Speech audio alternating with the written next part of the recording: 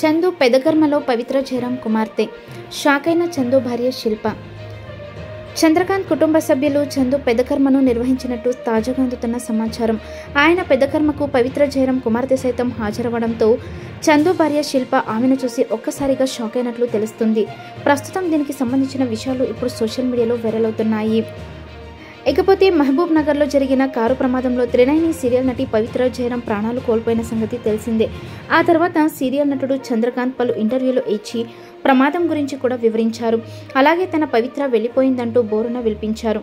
ఆ తర్వాత మే పదిహేడున పవిత్ర గురించి సిరీస్ ఆఫ్ ట్వీట్ చేశాడు.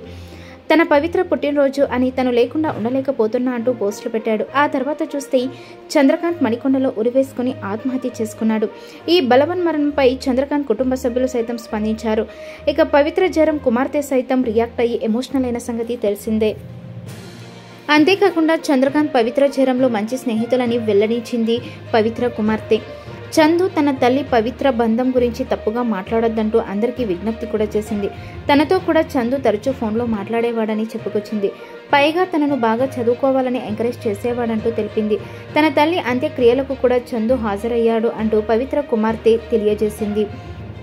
అయితే చంద్రకాంత్ భార్య శిల్ప మాత్రం వారిది అక్రమ సంబంధమే అంటూ స్పష్టం చేసిన సంగతి తెలిసిందే.